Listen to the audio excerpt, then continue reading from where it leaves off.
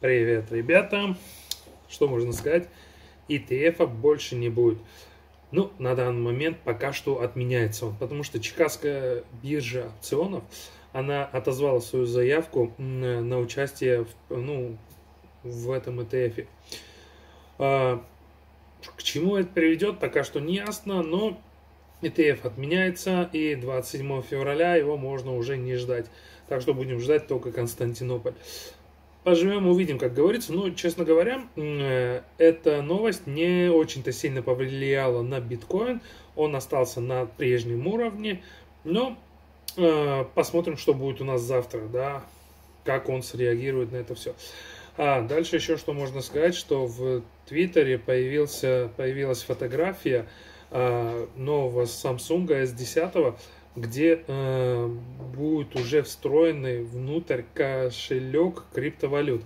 И будет еще встроенный специальный э, софт для хранения ваших э, private keys, ну, приватных ключей от блокчейна, да, там, от разных э, валют. Так что Samsung поддерживает криптовалюту, и это тоже хорошая новость. А, еще что можно добавить, ребята, обновился Gminer до версии 1.22. Я не помню, я вчера говорил насчет этого или нет, а, но как-то так.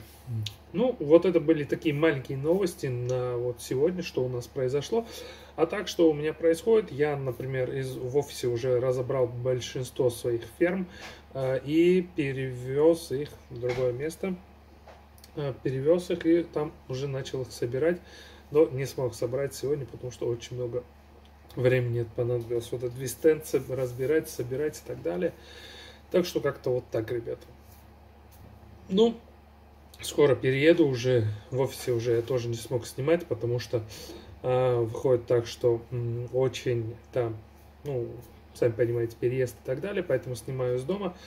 А, завтра, наверное, будет то же самое, но посмотрим. Ну, а послезавтра уже возобновим и будет все по плану. Ладно, ребята, давайте подписывайтесь на мой канал, ставьте лайки и всего вам самого хорошего. Напишите ваше мнение, что будет с этим ETF, нужен он нам вообще или нет, и что вы от него ожидали. Пока. С вами был, как всегда, Леван Беручашвили.